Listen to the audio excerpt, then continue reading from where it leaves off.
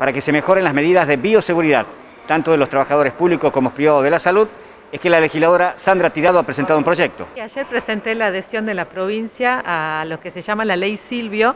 que es una ley que eh, prevé todo lo que tiene que ver con la seguridad para los equipos de salud en esta situación de pandemia, de coronavirus, y plantea tanto eh, protocolos para la atención de los pacientes, la protección personal de cada uno de los médicos y enfermeras y enfermeros, como que también todas las instituciones tienen que tener protocolos para este, prevenir, pero también para estar permanentemente haciendo testeos dentro del personal de salud, a su vez si hay eh, pacientes, digamos, del personal de salud, que haya un registro de cuáles son esos pacientes y cuál, viene siendo su evolución. Y esto lo importante es que todos estos protocolos y todas estas medidas tienen que estar presentes tanto en la parte pública como en la parte privada, ¿no? O sea, también en la parte privada tienen que tener formados equipos que hagan permanentemente el monitoreo de qué es lo que está pasando con sus recursos humanos, si aparecen casos y si esos casos cómo evolucionan, o sea, tiene que haber un equipo destinado en cada institución